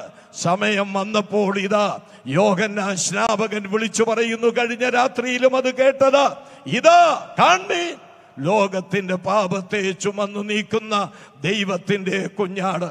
യോർദാൻ നദിയുടെ ഇരുകരയിലും യോഹന്നാൻ ശ്രാപകന്റെ പ്രഭാഷണം കേൾക്കാൻ തടിച്ചുകൂടി നിൽക്കുന്ന ജനത്തിന്റെ ഇടയിലൂടെ മുപ്പത് വയസ്സ് വരുന്ന ഒരു യുവാവ് മന്ദം മന്ദം ശാന്തമായി നടന്നു വരുമ്പോഴാണ് യോഗൻ ശ്രാപകൻ വിരൽ ചൂണ്ടി വിളിച്ചു പറയുക കാണുക കാണുക ലോകത്തിന്റെ പാപത്തെ ചുമന്നു നീക്കുന്ന ദൈവത്തിന്റെ കുഞ്ഞാട് യഹൂദന്റെ ദൈവാലയത്തിൽ അനേക പ്രാകാരത്തിലുള്ള യാഗപീഠത്തിൽ പാപങ്ങൾക്ക് പ്രായച്ചിത്തമായി ആയിരം പതിനായിരക്കണക്കിന് മൃഗങ്ങളെ അറുത്തുകൊണ്ടിരിക്കുകയാണ്. അതിന്റെ രക്തമെല്ലാം യാഗപീഠത്തിന്റെ ചുവട്ടിൽ തളം കെട്ടിക്കിടക്കുകയാണ്. ഒരു രക്തരൂക്ഷിതമായ ഒരു അന്തരീക്ഷം. വീണ്ടും വീണ്ടും പാപങ്ങൾക്ക് പ്രായച്ചിത്തത്തിനായി അവർ യാഗം കഴിച്ചുകൊണ്ടിരിക്കുകയാണ്. അപ്പോഴാണ് യോഗന്നാൻ സ്നാപകൻ വിളിച്ചു പറയുക സ്റ്റോ മതി മതി. യാഗങ്ങളും യോഗങ്ങളും നടത്തിയത് മതി. ദാ പോകുന്നു. ദാ പോകുന്നു. കാണുക. കടന്നു പോകുന്നവനെ കാണുക. അതാരാണ്? ലോകത്തിന്റെ പാപത്തെ ചുമന്നു നീക്കുന്ന ദൈവത്തിന്റെ കുഞ്ഞാട്. എന്നെ ശ്രദ്ധിക്കുന്ന പ്രിയപ്പെട്ടവരെ മനുഷ്യന്റെ ഏറ്റവും വലിയ ചുമടെന്ന് പറയുന്നത് പാപമാണ്. യശയാ പ്രവാചകന്റെ പുസ്തകം ഒന്നാം അധ്യായം എട്ടാം വാക്യത്തിൽ രേഖപ്പെടുത്തിയിരിക്കുന്നു. അയ്യോ അകൃത്യ ഭാരം ചുമക്കുന്ന ഒരു ജനം. അതാണ് ചുറ്റുപാടുകളിൽ കാണാൻ കഴിയുന്നത്. അകൃത്യഭാരം ചുമക്കുന്ന ഒരു ജനം മൃഗങ്ങളെക്കാൾ അമ്പേ ധാർമ്മികമായി അതപ്പതിച്ചു പോയിരിക്കുന്ന ഒരു ജനം മൃഗത്തിനു പോലും ചെയ്യാൻ മടിക്കുന്ന അറപ്പ് വരുന്ന കാര്യമാണ് പരിഷ്കാരിയായ മനുഷ്യൻ ചെയ്യുന്നത്. മനുഷ്യനെ മൃഗത്തോട് ഉപമിച്ചുകൊണ്ട് പലരും പറഞ്ഞിട്ടുണ്ട് മനുഷ്യൻ ചിരിക്കാൻ കഴിവുള്ള മൃഗമാണ് ചിന്തിക്കാൻ കഴിവുള്ള മൃഗമാണ് വിദ്യാഭ്യാസമുള്ള മൃഗമാണ് രാഷ്ട്രീയ ബോധമുള്ള മൃഗമാണ് കലയുള്ള മൃഗമാണ് എന്നൊക്കെ മനുഷ്യനെ മൃഗത്തോട് ഉപമിച്ചുകൊണ്ട് പറഞ്ഞിട്ടുണ്ട്. ഇതൊക്കെ കേട്ടപ്പോഴുണ്ടല്ലോ സർവേ പള്ളി ഡോക്ടർ രാധാകൃഷ്ണൻ നമ്മുടെ മുൻ പ്രസിഡന്റ്. അദ്ദേഹം പറഞ്ഞ പ്രസ്താവന എന്തെന്നറിയാമോ? മനുഷ്യനെ മൃഗത്തോട് തുലനം ചെയ്യുന്നത് അത് മൃഗത്തോട് ചെയ്യുന്ന കടുങ്കൈയാണെന്ന് പറഞ്ഞു. പിടികിട്ടിയോ നിങ്ങൾക്ക്? മൃഗങ്ങൾ പോലും ചെയ്യാൻ അറയ്ക്കുന്ന കാര്യങ്ങളാണ് ഇന്നിന്റെ മനുഷ്യൻ ചെയ്തു കൂട്ടുന്നത്. ഇവിടെ ഞാൻ വിവരിപ്പാൻ ആഗ്രഹിക്കുന്നില്ല. ഇതെല്ലാം കണ്ടിട്ടു നൂറ്റാണ്ടുകൾക്ക് മുൻപ് യശ്യാവ് വിളിച്ചു പറഞ്ഞു അയ്യോ അകൃത്യഭാര ചുമക്കുന്ന ഒരു ജനം. മനുഷ്യന്റെ ഏറ്റവും വലിയ ഭാരം പാപഭാരമാണ്. അവന്റെ അനിശ്ചിതത്വത്തിന്റെ കാരണം പാപമാണ്. അവന്റെ മരണത്തിന്റെ കാരണം പാപമാണ്. അവന്റെ ശിക്ഷാവിധിയുടെ കാരണം പാപമാണ്. എന്റെ വാത്സല്യ സഹോദരങ്ങളെ ഈ പാപത്തിന്റെ ചുമട് ആര് നീക്കും? എങ്ങനെ നീക്കപ്പെടും? എങ്ങനെ പരിഹാരം വരും? ഇതാ നിങ്ങളുടെ ദൈവം. ആ ദൈവം മനുഷ്യനായി കാൺമീൻ ആ മനുഷ്യൻ. ആ മനുഷ്യൻ ഇതാ കാൺമീൻ. നിങ്ങളുടെ പാപത്തെ ക്രൂശിൽ ചുമന്ന് നീക്കിയ ദൈവകുഞ്ഞാടായി കാണുക. ഇന്നേക്ക് ഇരുപത്തിയൊന്ന് വർഷങ്ങൾക്ക് മുൻപ് മാനവജാതിയുടെ പാപത്തെ ചുമന്നുകൊണ്ട് കാൽവരിയിലെ കൊലമരത്തിൽ കയറി രണ്ട് കള്ളന്മാർക്ക് നടുവിൽ മരിച്ച് അടക്കപ്പെട്ട് ഉയർത്തെഴുന്നേറ്റ യേശു ക്രിസ്തു അവിടുന്ന് ദൈവ കുഞ്ഞാടാണ് നിങ്ങളുടെ പാപത്തെ ചുമന്നു നീക്കിയവനാണ്. ഇന്ന് രാത്രി ആർക്കു വേണം പാപമോചനം? ആർക്കു വേണം രക്ഷ? ആർക്കു വേണം സ്വർഗം? ഇതാ കാൺമീൻ നിങ്ങളുടെ പാപത്തെ ചുമന്നു നീക്കിയ ദൈവത്തിന്റെ കുഞ്ഞാട്. അടുത്ത ഒരു വാക്യം കൂടെ ഞാൻ വായിച്ചു കൊള്ളട്ടെ. വെളിപ്പാട് പുസ്തകം കേട്ടോളുക. മഴ അവിടെ പെയ്തു കൊള്ളട്ടെ. അതും ഒരു അനുഗ്രഹം വെളിപ്പാട് ഒന്നിന്റെ ഏഴ് ഒന്ന് വേഗത്തിൽ വായിച്ചാട്ട്. ഇതാ അവൻ മേഘാരൂഢനായി വരുന്നു. മതി. ഇതാ അവൻ മേഘാരൂഢനായി വരുന്നു. ബിഹോൾഡ് കാൺമീൻ അവൻ മേഘാരൂഢനായി വരുന്നു. ഞാനൊന്ന് ഘടിപ്പിച്ചു പറയട്ടെ. ഒന്ന് കാണുക നിങ്ങളുടെ ദൈവത്തെ. രണ്ട് കാണുക ആ മനുഷ്യനെ. ഏത് മനുഷ്യൻ? ദൈവം മനുഷ്യനായി തീർന്നവനെ. മൂന്ന് കാണുക ആ കുഞ്ഞാടിനെ. ഏത് കുഞ്ഞാടിനെ? നിങ്ങളുടെ പാപത്തെ ചുമന്നു നീക്കിയ ദൈവ കുഞ്ഞാടിനെ. ഇവിടെ പറയുക കാണുക. കാൺമീൻ അവൻ മേഘാരൂഢനായി വരുന്നു. എന്റെ വാത്സല്യ സഹോദരങ്ങളെ ഈ ദൈവമായവൻ മനുഷ്യനായവൻ ദൈവകുഞ്ഞാടായവൻ മേഘാരൂഢനായി വേഗത്തിൽ വരാൻ പോകുക. യേശുക്രിസ്തു തന്നെ വെളിപ്പാട് പുസ്തകം അവസാനിപ്പിക്കുമ്പോൾ ഇരുപത്തിരണ്ടാം അധ്യായത്തിന്റെ ഏഴാം വാക്യത്തിലും പന്ത്രണ്ടാം വാക്യത്തിലും ഇരുപതാം വാക്യത്തിലും ആവർത്തിച്ചു പറയുന്നുണ്ട് ഇതാ ഞാൻ വേഗം വരുന്നു. കഴിഞ്ഞ ദിവസം ഞാൻ വായിച്ച വെളിപ്പാട് പുസ്തക വ്യാഖ്യാനത്തിന്റെ ഒരു പുസ്തകത്തിൽ ഈ ഒന്നാം അധ്യായം ഏഴാം വാക്യത്തെ സംബന്ധിച്ച് ആ ഗ്രന്ഥകർത്താവ് ഒരു നല്ല വിശദീകരണം കൊടുത്തിട്ടുണ്ട്. അദ്ദേഹം പറയുന്നു ഇതാ അവൻ മേഘാരൂഢനായി വരുന്നു. അദ്ദേഹം പറയുന്നത് ഇങ്ങനെയാ അതിന് രണ്ടാശയങ്ങളുണ്ട്. ഒന്ന് ഇതാ അവൻ മേഘാരൂഢനായി വന്നുകൊണ്ടിരിക്കുന്നു വന്നുകൊണ്ടിരിക്കുന്നു. രണ്ടാമത്തെ ആശയം അദ്ദേഹം പറയുന്നത് ഇതാ അവൻ വഴിയിൽ ഇതാ അവൻ വഴിയിൽ. നമുക്കറിയാം വീട്ടിൽ നിന്ന് ഭർത്താവ് കാറുമെടുത്തുകൊണ്ട് എന്തെങ്കിലും ആവശ്യത്തിന് ടൗണിലേക്ക് പോയാൽ പ്രതീക്ഷിച്ച സമയത്ത് വന്നില്ലെങ്കിൽ ഭാര്യ ഫോൺ ചെയ്യും നിങ്ങൾ എവിടെയാ മനുഷ്യ? എന്ന് ചോദിക്കുമ്പോൾ അദ്ദേഹം തിരിച്ചു തരുന്ന ഒരു മറുപടിയുണ്ട്. I am on the way ഞാൻ വഴിയിലാണ്. ഞാൻ വന്നുകൊണ്ടിരിക്കുകയാ. ഇന്ന് രാത്രി ഞാൻ ദൈവത്തെ സ്തുതിക്കുന്നു. ഈ ദൈവം ഈ മനുഷ്യൻ ഈ ദൈവ കുഞ്ഞാട് ഇതാ വന്നുകൊണ്ടിരിക്കുകയാണ്. അവിടുന്ന് അടുക്ക വാതുക്കലായിരിക്കുക. ഇനി അധികം നാളുകളില്ല പ്രിയപ്പെട്ടവരെ. ആ പിന്നിട്ട ദിവസങ്ങളുടേത് അത്രയുമില്ല വിശ്വസിച്ച ദിവസത്തേക്കാൾ രക്ഷ അടുത്തിരിക്കുകയാണ് എബ്രായ ലേഖനം പത്താം അധ്യായത്തിൽ വായിക്കുന്നത് പോലെ ഇനിയും അല്പകാലം കഴിഞ്ഞാൽ വരുവാനുള്ളവൻ വരും. താമസിക്കുകയുമില്ല. ലോക സംഭവങ്ങൾ അത് വിളിച്ചറിയിക്കുന്നു. ലോക രാഷ്ട്രീയ ചക്രവാളത്തിൽ അതിന്റെ പടകധ്വനികൾ മുഴങ്ങി കേട്ടുകൊണ്ടിരിക്കുകയാണ് കാലത്തിന്റെ ചുവരെടുത്തു വായിച്ചാൽ ഇതൊക്കെ നടക്കുന്നത് കാണാൻ കഴിയും. യേശു പറഞ്ഞ അടയാളങ്ങളൊക്കെ സംഭവിച്ചു കൊണ്ടിരിക്കുന്നു ആകിയാൽ പ്രിയപ്പെട്ടവരെ ഇതാ അവൻ മേഘാരൂഢനായി വരികയാണ്. അവൻ വന്നുകൊണ്ടിരിക്കുന്നു. ഒരുങ്ങിയിട്ടുണ്ടോ? ഏറ്റവും ഒടുവിലായി ഒരു വാക്യം കൂടെ വായിച്ച് ഞാൻ എന്റെ വാക്കുകൾ അവസാനിപ്പിക്കാം.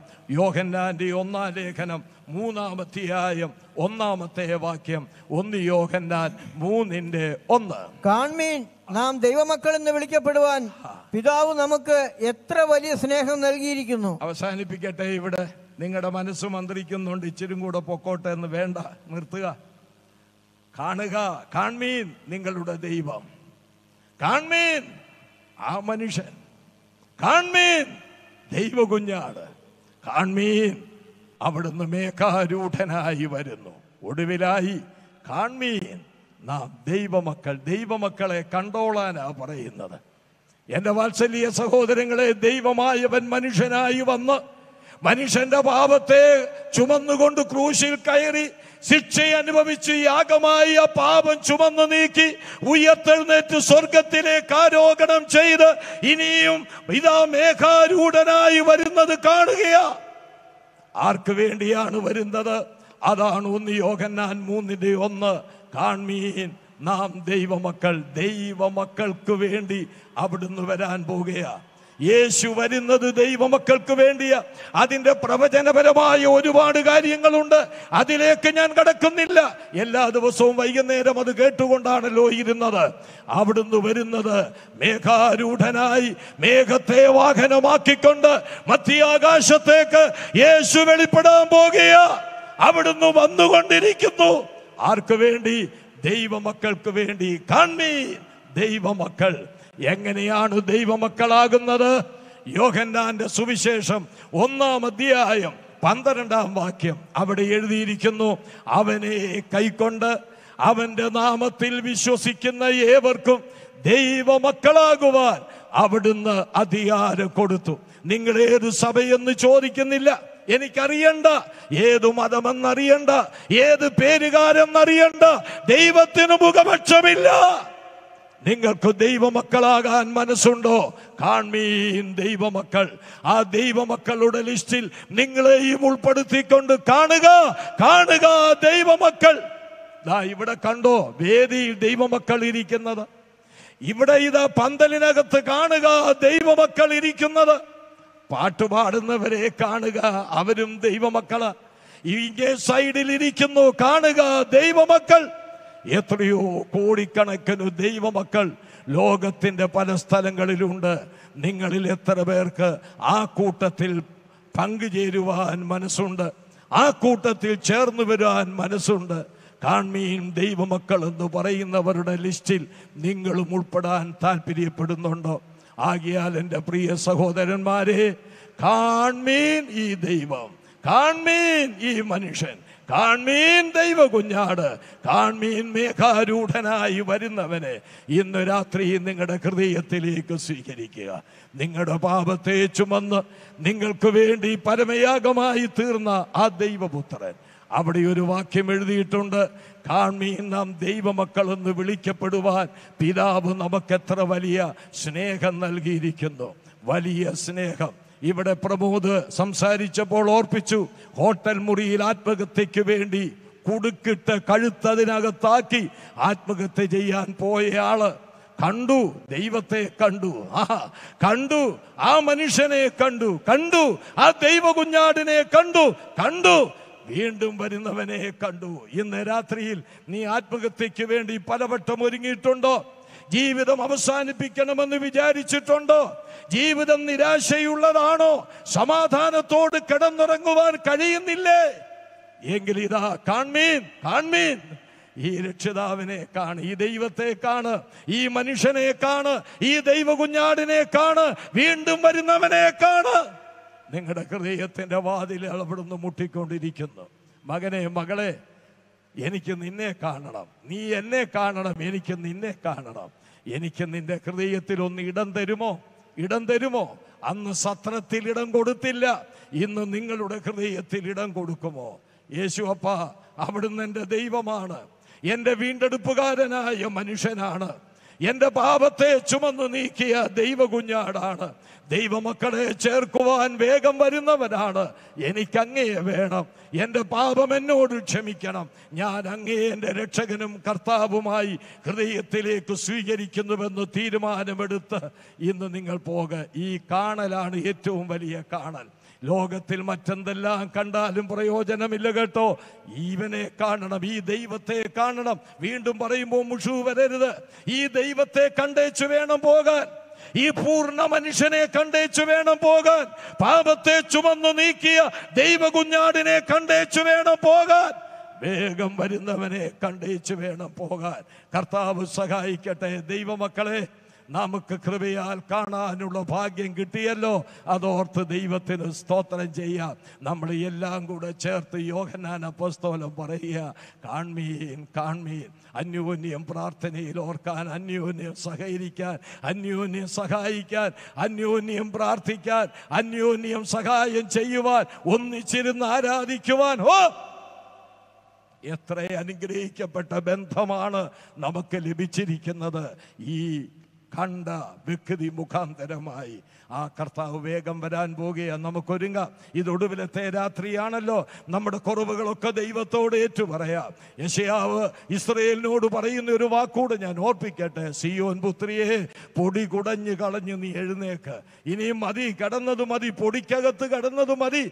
ദൈവമക്കളെ പൊടി കുടഞ്ഞു കളഞ്ഞ് എഴുന്നേൽക്ക്. മുറുകെ പറ്റുന്ന പാപത്തെ വിട്ടോടുക. ജീവിതത്തിന്റെ അഴുക്കുകളെ ദൈവത്തിന്റെ വചനത്താൽ കഴുകിക്കളക. ഇവിടെ ഒടുവിൽ കേട്ടതുപോലെ വിശുദ്ധിയെ തികച്ച് വേഗം വരുന്നവനായിട്ട് നമുക്ക് ഒരുങ്ങിയിരിക്കാം ദൈവം നമ്മെ സഹായിക്കട്ടെ. ഇന്ന് രാത്രിയിലും കർത്താവായ യേശു മുഖാന്തരം നമുക്ക് ജയം നൽകിയ ദൈവത്തിന് സ്തോത്രം. ആമേൻ. കർത്താവെ വേഗം വരണമേ. കാൺമീൻ നിങ്ങളുടെ ദൈവം കാൺമീൻ നിങ്ങളുടെ വീണ്ടെടുപ്പുകാരനായ മനുഷ്യൻ കാൺമീൻ പാപത്തെ ചുമന്നു നീക്കിയ ദൈവകുഞ്ഞാട് കാൺമീൻ മേഘാരൂഢനായി വരുന്ന രക്ഷിതാവിനെ കർത്താവ് സഹായിക്കട്ടെ. അവിടുത്തെ നാമം വാഴ്ത്തപ്പെടുമാറാകട്ടെ.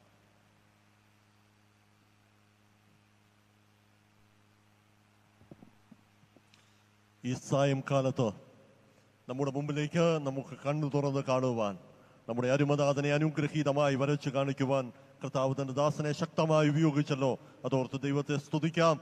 ഈ രാത്രി നമ്മുടെ കണ്ണുകൾ തുറന്ന് ഈ അരുമനാഥനെ കണ്ടുമുട്ടാം. അന്ധകാരത്തിൽ തപ്പിത്തടയുന്ന ആരെങ്കിലും ഈ രാത്രി ഞങ്ങളെ ശ്രദ്ധിക്കുന്നുണ്ടെങ്കിൽ അത്ഭുത പ്രകാശമായി അരുമനാഥനുമായി അവരുടെ ഭവനങ്ങളിലേക്ക് മടങ്ങിപ്പോകുവാൻ സർവകൃപാലുവായ ദൈവം അവസരം നൽകട്ടെ എന്ന് പ്രാർത്ഥിക്കുന്നു. ഈ വർഷത്തെ കോട്ടയം കൺവെൻഷൻ ഈ നിലയിൽ അനുഗ്രഹകരമായി പൂർത്തീകരിക്കുവാൻ കർത്താവ് സഹായിച്ചല്ലോ. ഇപ്പോൾ കർത്താവിന്റെ ദാസൻ പി വി രാജു മുന്നോട്ട് കടന്നു വന്ന് പ്രാർത്ഥിച്ച് ആശീർവാദം പറയും. അതിനുശേഷം ഈ കൺവെൻഷൻ കമ്മിറ്റിയുടെ എല്ലാ സംഘാടകരായിരിക്കുന്ന ഇതിന്റെ വോളണ്ടിയേഴ്സ് ആയിരിക്കുന്ന എല്ലാ സഹോദരന്മാരും വേദിയിലേക്ക് കടന്നു വരണം. നമുക്കൊരുമിച്ച് സ്തോത്രഗാനം പാടി കർത്താവിനെ മഹത്വപ്പെടുത്തി ഒരുമിച്ച് കടന്നു പോകാവുന്നതാണ് ഒരു പ്രാർത്ഥനാ വിഷയം. നിങ്ങളെ ഓർമ്മിപ്പിക്കട്ടെ കൂവപ്പള്ളി സഭയിലെ ഒരു പൈതൽ നദനയേൽ സാജു.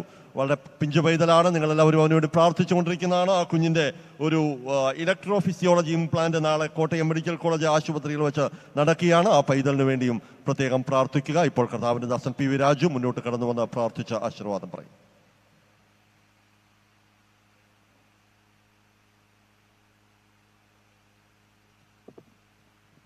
ഞങ്ങളുടെ ദൈവമേ സ്വർഗീയ പിതാവേ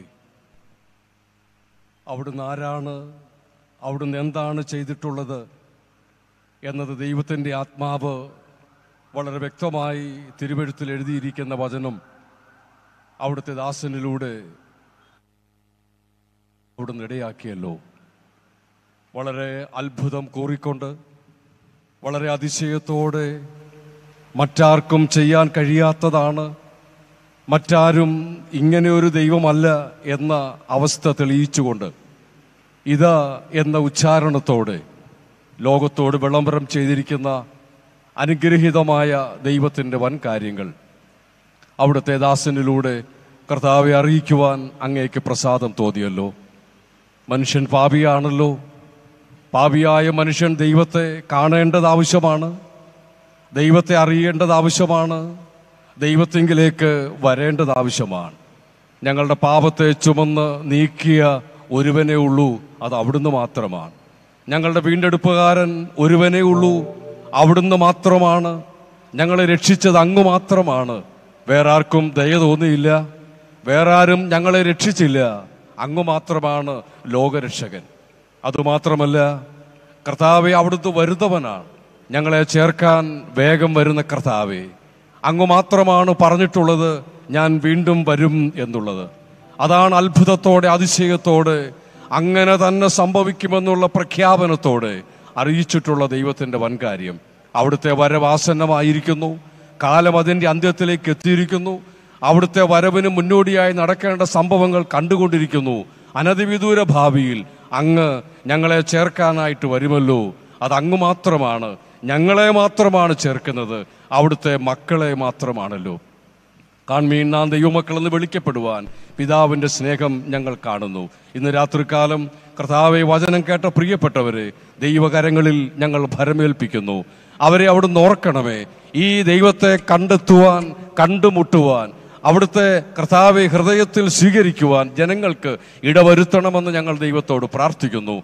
അവിടുത്തെ ദാസന് വചനം നൽകി അവിടുന്ന് ബലപ്പെടുത്തി നല്ലൊരു അന്തരീക്ഷം ഞങ്ങൾക്ക് തന്നല്ലോ. നന്ദിയോടെ നന്ദിയോടെ ഞങ്ങൾ ഇതിന്റെ സ്തുതിക്കുന്നു. കഴിഞ്ഞ നാല് രാത്രികളിലായി കർത്താവ് നിന്റെ വചനം മാറ്റമില്ലാത്ത വചനം അവിടുത്തെ ഭൃത്യന്മാരാൽ ഈ മൈതാനിയിൽ വിളിച്ച് അറിയിക്കപ്പെട്ടുകൊണ്ടാണല്ലോ ഇരുന്നത്. അവിടുത്തെ നാമത്തെ അങ്ങ് തന്നെ മഹത്വപ്പെടുത്തിയല്ലോ. സ്തോത്രം. ബലഹീനരമായ ബലഹീനരായി ഞങ്ങളിലൂടെ അവിടുത്തെ നാമം മഹത്വപ്പെടുവാൻ അവിടുന്ന് ഇടയാക്കിയത് ഞങ്ങൾ നന്ദിയോടെ ഓർക്കുന്നു. എന്റെ ദാസന്മാർ ആഗ്രഹിക്കുകയും പ്രാർത്ഥിക്കുകയും ചെയ്ത് തീരുമാനിച്ച ഈ കാര്യം കർത്താവെ അനുഗ്രഹിക്കപ്പെട്ട നിലയിൽ നടത്തപ്പെടുവാൻ കർത്താവിന്റെ പ്രസാദം തോന്നിയതുകൊണ്ട് സ്തോത്രം. അവിടുത്തെ കാര്യപരിപാടിയായിരുന്നല്ലോ ചില വർഷങ്ങൾ ഇത് ചെയ്യാൻ കഴിയാത്ത കർത്താവെ മഹാമാരിയുടെ വലിയ പ്രയാസങ്ങളുണ്ടായിരുന്നു. എന്നാൽ വീണ്ടും അത് ചെയ്യുവാൻ അവിടുന്ന് ബലപ്പെടുത്തിയത് കൊണ്ട് സ്തോത്രം. അനേകരെ അവിടുന്ന് ഈ ദിവസങ്ങളിൽ കൂട്ടി വരുത്തിയത് കൊണ്ട് ഞങ്ങൾ ഇതിനെ സ്തുതിക്കുന്നു. ഇതിന് വചനം ശുശ്രൂഷിച്ചവരുണ്ട് ഗാനങ്ങൾ ആലപിച്ചവരുണ്ട് വിവിധ ശുശ്രൂഷകൾക്ക് നേതൃത്വം കൊടുത്തവരുണ്ട് പ്രാർത്ഥിച്ചവരുണ്ട് അതിനുവേണ്ടി പണം മുടക്കിയവരുണ്ട്. എല്ലാവർക്കായും ഞങ്ങൾ ഇതിനെ സ്തുതിക്കുന്നു. പോകുവീൻ ഈ സന്ദേശം അറിയിപ്പീൻ എന്നുള്ള അനുഗ്രഹീതമായ അവിടുത്തെ അന്ത്യ നിയോഗം അനുസരിച്ചുകൊണ്ട് അതനുസരിച്ചുകൊണ്ട് കർത്താവ് ഇത് ചെയ്യുവാൻ ഞങ്ങളെ നീ ബലപ്പെടുത്തിയത് കൊണ്ട് സ്തോത്രം. ഞങ്ങൾക്കല്ല കർത്താവ് ഞങ്ങൾക്കല്ല ഞങ്ങളുടെ നാമത്തിന്റെ മഹത്വത്തിനല്ല. അവിടുത്തെ നാമത്തിന്റെ മഹത്വത്തിന് സകലവും ചെയ്തതുകൊണ്ട് സ്തോത്രം. അവിടുത്തെ ദാസന്മാർക്ക് ആത്മപ്രേരണ കൊടുത്ത് ഇത് സംഘടിപ്പിക്കുവാൻ കർത്താവിന് കരുവ് തോന്നിയല്ലോ. നന്ദിയോടെ ഞങ്ങൾ ഇതിനെ സ്തുതിക്കുന്നു കർത്താവേ. ഇത്രത്തോളം അനുഗ്രഹിക്കപ്പെട്ട നിലയിൽ കഴിഞ്ഞ നാല് ദിവസങ്ങളിലും പകലും രാവിലുമായി അവിടുത്തെ സന്ദേശം അറിയിച്ചിട്ടുണ്ട്. ഈ വചനം വൃതാവായി തീരുകയില്ല. കർത്താവ് ഈ വചനം മടങ്ങി വരും ആത്മാക്കളെ കൊണ്ട് മടങ്ങി വരുമെന്നുള്ളത് കൊണ്ട് സ്തോത്രം. ദൈവമക്കളായി ഞങ്ങളെ ബലപ്പെടുത്തിയ വചനത്തിനായി സ്തോത്രം. ചൈതന്യം തന്ന വചനത്തിനായി സ്തോത്രം. ആവേശത്തോട് കർത്താവെ വളരെ അനുഗ്രഹിക്കപ്പെട്ട നിലയിൽ മുന്നേറാനുള്ള എല്ലാവിധമായിരിക്കുന്ന പ്രചോദനവും ഞങ്ങൾക്ക് തന്ന് ഞങ്ങളെ വഴി നടത്തിയ ഞങ്ങളുടെ ദൈവമേ. ഞങ്ങൾ ഇതിനെ വണങ്ങുന്നു. ഞങ്ങൾ ആരാധിക്കുന്നു ഞങ്ങൾ ഇതിനെ സ്തുതിക്കുന്നു. അങ്ങ് മാത്രമാണ് ദൈവം. അങ്ങേക്ക് തുല്യൻ ആരുമില്ല. അങ്ങേക്കൊപ്പം പറയുവാൻ ആരുമില്ല. അങ്ങാണ് ആരാധ്യൻ. അങ്ങാണ് സമാരാധ്യൻ. അങ്ങ് തന്നെയാണ് വീണ്ടെടുപ്പുകാരൻ. ഞങ്ങളോ ഞങ്ങളെ രക്ഷിച്ചവൻ അങ്ങാണ്. ഞങ്ങളെ ചേർക്കുവാൻ വരുന്നവൻ അങ്ങ് മാത്രമാണ് കർത്താവേ. ആമേൻ കർത്താവേ. അവിടുന്ന് വരണേ. അതാണ് ഞങ്ങൾ ആഗ്രഹിക്കുന്നത്. ഞങ്ങൾ ഇന്ന് രാത്രികാലം പ്രാർത്ഥിക്കുന്നത്. ചെയ്ത നന്മകൾക്കായി സ്തോത്രം. അനുഗ്രഹത്തോടെ ഞങ്ങളെ അയക്കണമേ അവിടുന്ന് മഹത്വം എടുക്കണമേ. ഞങ്ങളോട് കരുണ കാണിക്കണമേ. വളരെ സന്തോഷത്തോട് ഈ ശുശ്രൂഷ ചെയ്ത് ഭവനങ്ങളിലേക്ക് മടങ്ങുവാൻ അവിടുന്ന് കൃപ ചെയ്യണമേ. ഞങ്ങളുടെ പ്രാർത്ഥന കേട്ടിരിക്കാൻ സ്തോത്രം. യേശു ക്രിസ്തുവിന്റെ വിലയേറിയ നാമത്തിൽ തന്നെ. അനുഗ്രഹത്തോടെ ഇപ്പോ അയക്ക അടിയാറെ ഏകോവായേ മനസ്സലിവുടയ മഹോന്നത പരനെ വന്ദനം നിനക്കാമേ. മനസ്സലിവുടയ മഹോന്നത പരനെ വന്ദനം നിനക്കാമേ. നമ്മുടെ കർത്താവായ യേശുക്രിസ്തുവിന്റെ കൃപയും പിതാവാം ദൈവത്തിന്റെ സ്നേഹവും പരിശുദ്ധാത്മാവിന്റെ ആശ്വാസവും കൂട്ടായ്മയും അടിയങ്ങളോടുകൂടെ ഇപ്പോഴും എപ്പോഴും ഉണ്ടാകുമാറാകട്ടെ. ആമേൻ. ദയവായിട്ട് എല്ലാ വോളണ്ടിയേഴ്സും ഒരു നിമിഷം വേഗത്തിൽ സ്റ്റേജിലേക്ക് കടന്നു വരാനായിട്ട് അഭ്യർത്ഥിക്കുന്നു. പ്ലീസ്. എല്ലാ വോളണ്ടിയേഴ്സ് ആയിരിക്കുന്നവർ കൺവെൻഷൻ കമ്മിറ്റിയുടെ അംഗങ്ങൾ എല്ലാ പ്രിയപ്പെട്ടവരും ഒരു നിമിഷം എല്ലാവർക്കും നമുക്ക് ദൈവസ്ഥാനം ഒരു നിമിഷം എഴുന്നേറ്റ് നിൽക്കാം.